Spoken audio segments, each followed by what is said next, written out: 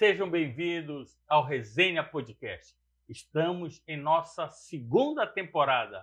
Hoje temos a honra de receber o deputado André Bueno.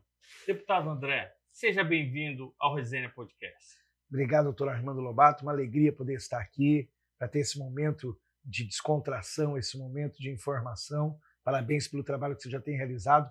A primeira temporada acompanhei alguns episódios e estar com você hoje é realmente uma honra, uma alegria muito grande. Muito obrigado, deputado. O senhor sabe que eu sou o presidente da Sociedade Brasileira de Angiologia e de Cirurgia Vascular.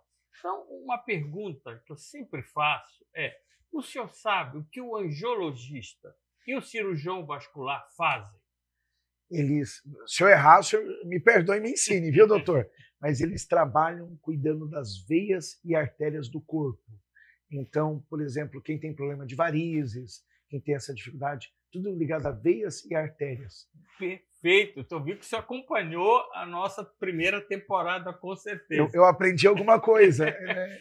eu vi uh, os seus comentários na LESP sobre uh, cancelamento de planos de saúde, tanto individuais como familiares. Correto. Qual é a, o, o, posicionamento seu e da própria LESP em relação a este assunto? Vamos lá, né? Vamos começar com um assunto bem sério e que para mim é um tema muito caro. Ah, hoje, na LESP, eu sou, eu faço parte da comissão que cuida das pessoas com deficiência. Por fazer parte dessa comissão, é, é natural que nos foquem mandando problemas relacionados a esse tema. E nós temos recebido diversos e-mails, diversas pessoas que ligam, se comunicam pelo Instagram, algumas crianças, algumas famílias em situação é, de risco muito grande, autistas, pessoas com síndromes diversas, que o plano está sendo cancelado sem nenhum tipo de aviso. Muito pelo contrário, o aviso tem vindo pelo WhatsApp. Então você acorda um determinado dia, você recebe o WhatsApp dizendo que seu plano está cancelado. Pior, às vezes a pessoa está indo para uma consulta que é de rotina e de repente, quando chega lá, ela recebe no balcão do atendimento a informação que o plano dela está cancelado.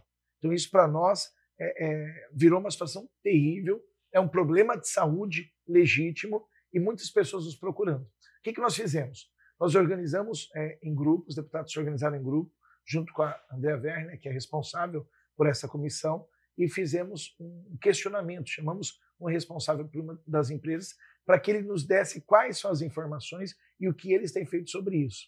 As respostas foram péssimas, foram angustiantes. Por quê? Eles simplesmente pegaram grupos e blocos, e esses grupos e blocos foram escolhidos com uma única base: é, aqueles que estavam dando mais lucro. É, é, peraí, como é que isso pode acontecer no momento em que eu sou lucrativo, eu sou importante?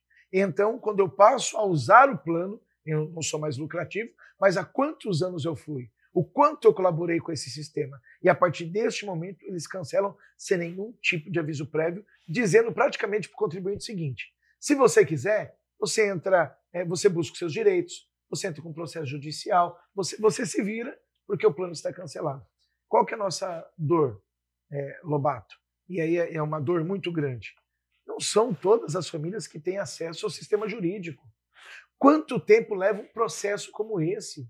A pessoa tem tratamento, alguns são tratamentos oncológicos, cirurgias de, varizes marcadas, e quando chega no ponto da cirurgia, é, é, o senhor sabe muito bem que a situação é gravíssima. E, de repente, ali se preparando para o atendimento, você tem essa notícia. Então, é um tratamento completamente desumanizado. Nós entendemos as empresas quando elas falam da importância do recurso, as empresas têm que ser superavitárias, nós concordamos com tudo isso. Mas o método e a forma que está acontecendo para quem está em tratamento não é legítimo. O que, que nós propomos lá na Assembleia? Isso é importante. Só como informação da Assembleia, nós fazemos, por regra, por ano, cinco CPIs. Este ano nós estamos nos organizando para criar uma sexta CPI, que é justamente a CPI contra os planos, não é contra os planos, é contra a atitude que os planos estão tendo em relação àqueles que mais precisam. E, e, é, e é, interessante porque é, o Brasil, infelizmente, é um país de pessoas que, que é, tem muita fragilidade de respeito à saúde. E quando o pai de família a mãe de família consegue é, é, economizar um dinheirinho, a primeira coisa que ele faz é colocar o filho numa escola melhor.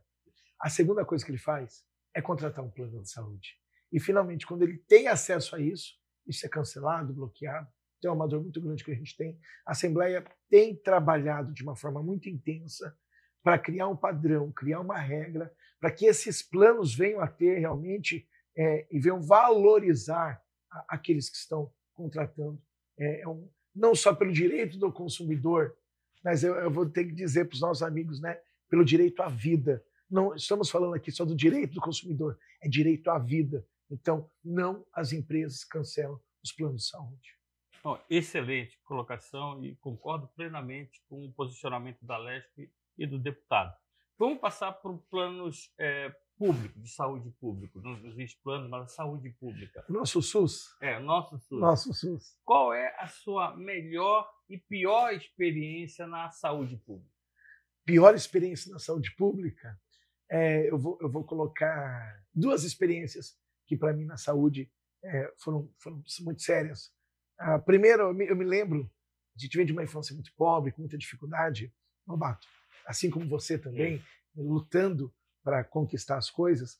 Eu me lembro quando eu saí um dia da empresa, eu saí um pouco mais cedo, eu estava muito mal, febril. Eu lembro que eu saí na hora do almoço e eu fui para o hospital da Zona Norte, um hospital público, e eu levei oito horas para ser atendido.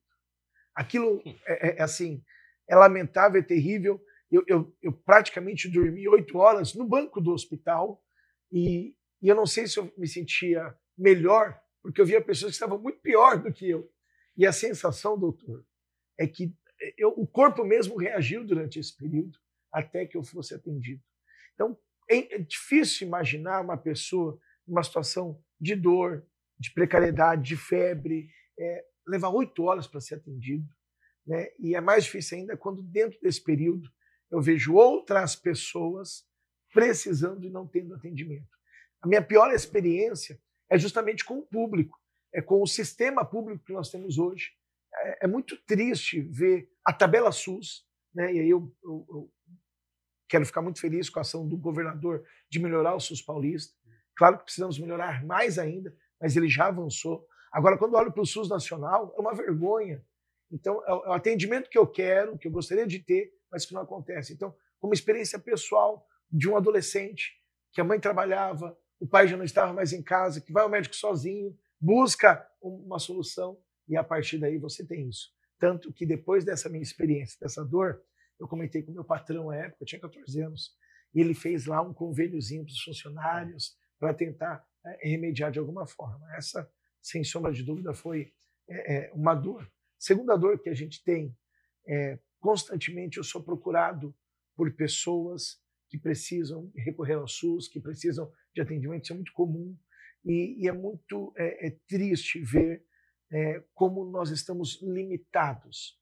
Nós estivemos em alguns hospitais este ano, é, pessoas sérias, pessoas incríveis, dedicadas, que têm uma paixão pelo trabalho, que é algo maravilhoso, mas que não tem recurso. A minha dor é essa. É, não está chegando dinheiro nas mãos certas daqueles que fazem as coisas acontecer.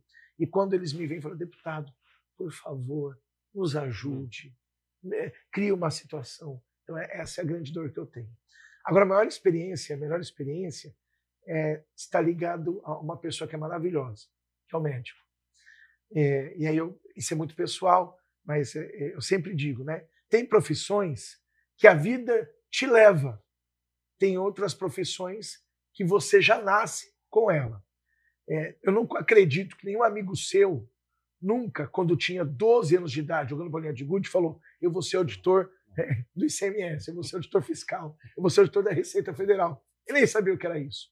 Mas esse amiguinho seu, quando criança, talvez já disse: Você é médico, você é veterinário. É, isso nasce com a pessoa. E é, minha esposa, ela passou por três partos. É, em dois, nós tivemos os nossos filhos. O mais velho tem 20 anos, o caçula tem 16. O terceiro, infelizmente, ele, ele faleceu. Mas a maior experiência que eu tenho foi com o médico. É, o médico que nos acompanha há mais de 20 anos, que eu considero como irmão, um amigo da família, é uma pessoa preciosa. E quando você encontra um médico é, desta forma, que ama a carreira, que ama as pessoas, que ama a família, é, a sensação, por mais que eu veja ele a cada parto, a sensação é que ele é de dentro da minha casa.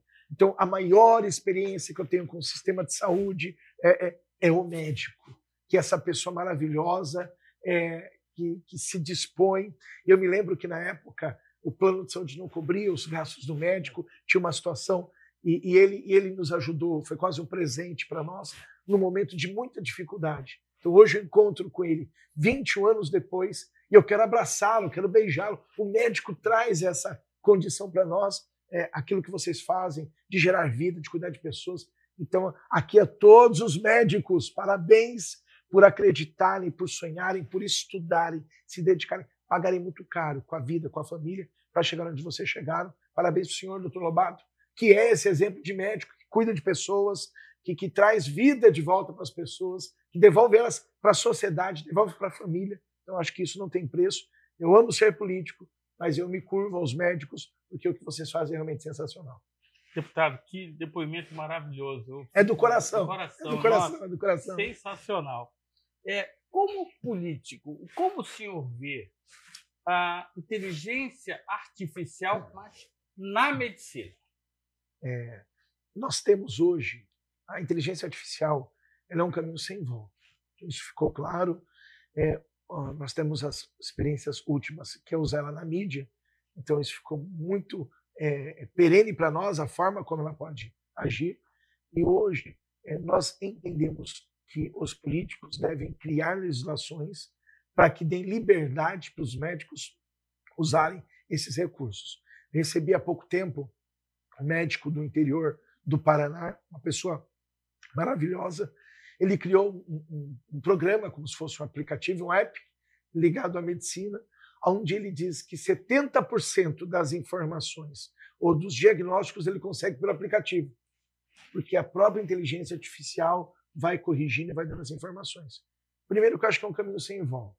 Segundo, eu entendo que é, nós temos pouquíssimos médicos para as nossas necessidades. Outro dia, eu recebi o pessoal da geriatria e eu me assustei com as informações da falta de geriatras para o estado de São Paulo. Então, estado mais rico, mais pujante, não tem médicos que vai cuidar dos idosos. Nessa curva que a gente está fazendo, onde as pessoas vão viver mais, isso é extremamente preocupante. Até porque, para formar um bom geriatra, me corrija, a gente está falando de pelo menos oito anos. Aí, é, é, se, se, pouco, né? Porque pode ser um pouco mais, é, por ser um especialista, é, é muito caro para a área da medicina. Então, eu entendo que a inteligência artificial poderá ser para vocês um caminho para se multiplicarem. É, e através dessa multiplicação, alcançar, sim, o maior número de pessoas, alcançar a, a, de uma forma técnica qualificada. O que eu acho que seria importante, doutor, é que a, tanto a parte médica é, se aproximasse mais da parte política para que nos esclarecesse melhor até onde pode ir. De repente tem uma lei que está travando, ou a falta de uma lei está travando para que algo possa ser construído. Então, nós entendemos que os políticos, os deputados, podem ser mais úteis para vocês, criando caminhos mais claros para que vocês possam crescer e se desenvolver. E vou além.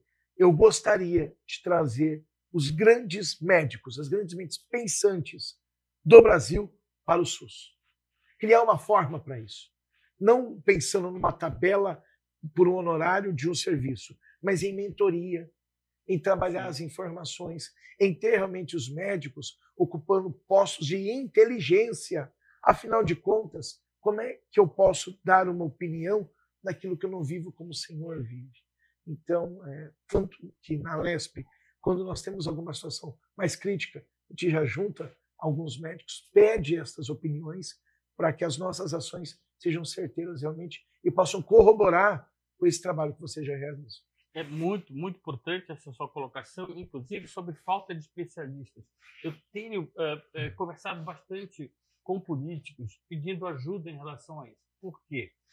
Provavelmente, no curto espaço de tempo, algumas cidades do interior, se já não estão passando por isso, estão sem especialistas.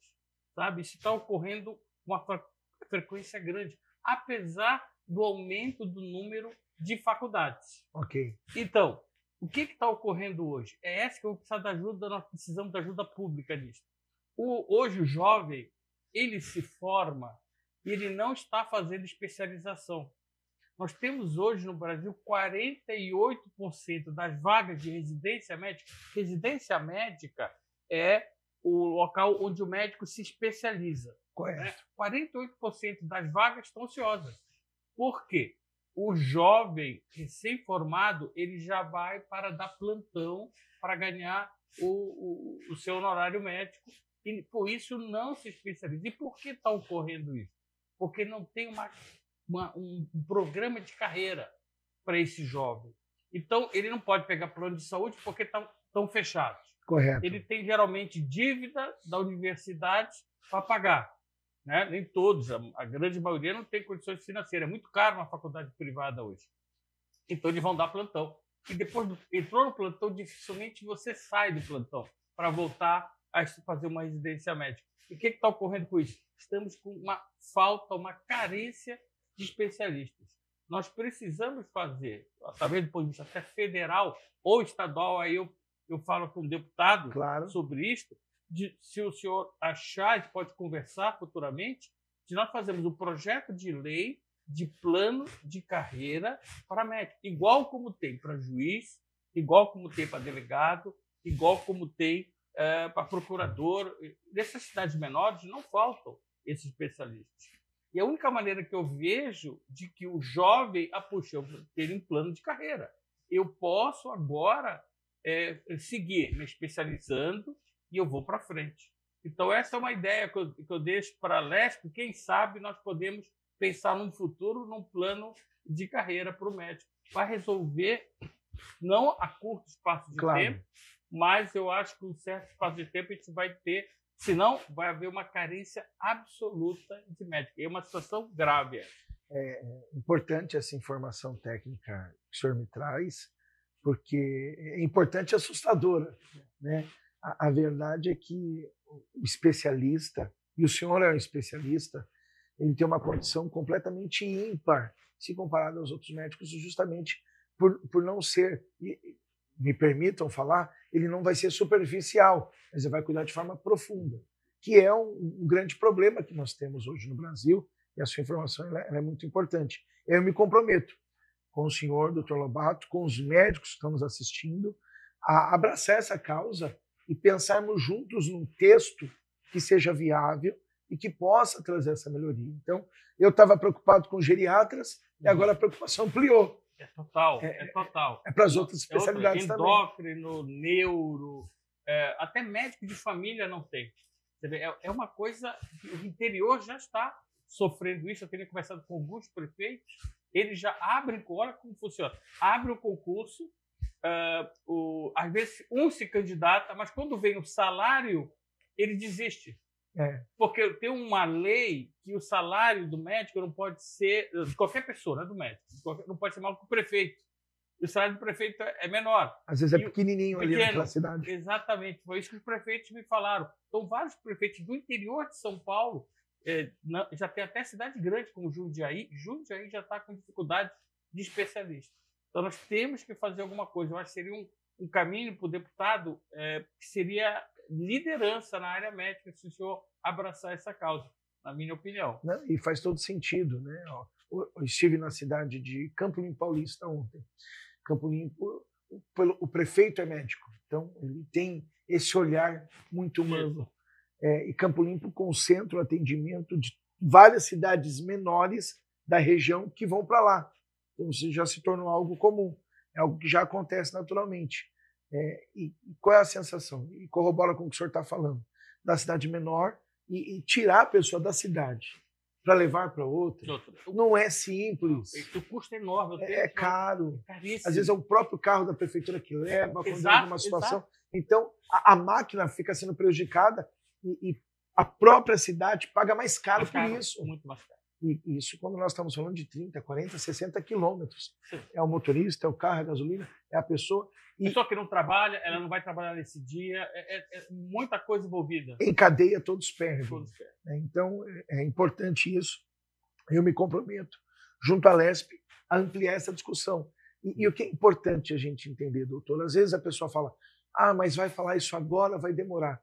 Que demore, Exato. mas que comece a mudança. Isso, exatamente. Que comece a mudança. Que comece a mudança. Isso que é importante a gente entender. Exatamente. Porque isso. chega um momento que, é, por achar que vai levar muito tempo, a gente não faz. Exato. Não pode. Que comece a mudança agora, as novas ideias, os novos nomes. Eu acho que a, a, política tem que ser oxigenada com novos nomes, a medicina tem que ser oxigenada com novos nomes. Eu brinco, né? Eu gosto muito do Dr. Drauzio Valera, uhum. Valera. Mas a gente só conhece ele como médico. É o único médico que tem voz aí no Brasil. A gente respeita o Dr. Drauzio, mas é necessário romper isso. Que os médicos tenham vozes, que os médicos tenham mais podcasts, que os médicos eles tenham acesso a falar conosco. Hoje, a população só segue no Instagram os médicos ligados à estética. Estética, exato, exato. esses, exato. esses, são super famosos, é. super conhecidos, Isso. e é legal que sejam, amo vocês, mas a gente precisa também dar voz para o médico de uma outra forma, para que eu tenha mais qualidade de vida. Né? E eu não, eu não, é isso que é ruim. Eu só vou procurar meu vascular quando a coisa ficou feia. É. não faz a prevenção muitas vezes. Não, não, tem, não tem. A gente faz a prevenção até é. de outras especialidades. Isso aí. Do vascular, não. Não, é então, verdade. É procure o Dr. Lobato quanto antes. Siga nas redes sociais para você não encontrar na mesa de cirurgia. Combinado? Isso é importante. Ah, perfeito. Nos podcasts sempre eu faço uma pergunta para os nossos convidados. Sim. E essa nossa entrevista foi maravilhosa, está sendo perfeita. Obrigado. A pergunta que eu falo assim, na atual situação do nosso país, do Brasil, tá. o senhor poderia correlacionar um filme com a situação do nosso Brasil de hoje? Vamos, é, sim, eu poderia. É, seria alguns filmes aí, sim. né? Não, não, não, seria um não, né? É, eu, eu sou um homem de fé, doutor Lobato. Por mais que eu, eu veja a situação de tudo que está acontecendo, o filme seria Em Busca de um Milagre. Porque eu acredito na pessoa, eu acredito no ser humano, acredito no cidadão, eu acredito no médico, eu acredito que você que é médico, você não escolheu essa profissão por dinheiro. Eu não acredito que você escolheu essa profissão por dinheiro, mas por amor. E esse amor, em algum momento, ele, ele volta para você de várias formas mas é, é, em busca de um milagre. O Brasil precisa de um milagre. E esse milagre está em cada um de nós, em acreditar, em fazer crescer e desenvolver. É, eu tenho um problema com, com os médicos, doutor. Hum. Eu preciso confessar aqui meu pecado. Hum. Se eu ver sangue por mais de 30 segundos, eu desmaio. É. Uma vez eu fui fazer uma visita para um moço que tinha uma traqueostomia. Eu fiquei com ele. Quando eu comecei a olhar, eu acordei no sofá dele. Eu fui cuidar dele e eu acabei sendo cuidado. No parto do meu primeiro filho, o doutor olhou para mim e falou: André, você está bem? E eu não estava. Eu tive que segurar na mão da esposa para eu não cair. Então, o que vocês fazem é maravilhoso. Eu acredito no milagre para a saúde brasileira, mas não um milagre apenas vindo por Deus, não. É um milagre de construção, onde cada um de nós tem condições de fazer a diferença. É. Mas tem outros filmes com nome que eu não vou falar agora, não. Ah, ó, tem lugar que é tropa de elite, gente, cuidado. Tem lugar que é tropa de elite, veemente aqui agora. Mas eu, eu, eu, estou em busca de um milagre. Excelente, deputado. E eu falo para vocês que escutam, que assistem o nosso podcast, vocês precisam conhecer profundamente o nosso deputado André Bueno. Sigam ele na página do Instagram. Ele é uma pessoa de uma inteligência ímpar, é uma nova geração de políticos de São Paulo. E, deputado, eu tenho certeza que este, é, a sua carreira já é longa, Obrigado. mas ela vai ser muito mais longa. Tenho certeza que nós vamos é, alcançar pleitos ainda maiores para o Brasil inteiro, não só São Paulo. Eu acho que o que o senhor está fazendo por São Paulo, nós podemos fazer isso pelo Brasil. Então, acredito que futuramente, é, o senhor é muito jovem, é, comparado a mim, pelo Imagina. menos, eu estou velho, velho já, já, já fui mais jovem. Mas eu acho que o deputado é, é o exemplo, é, é, absolutamente o exemplo de uma pessoa é, que é, gosta do ser humano, gosta de ajudar, é do bem, e vocês têm que acompanhar o nosso deputado André Bento. Deputado, muito obrigado pela entrevista, foi sensacional. Foi uma honra, muito um obrigado. Deus abençoe. Obrigado.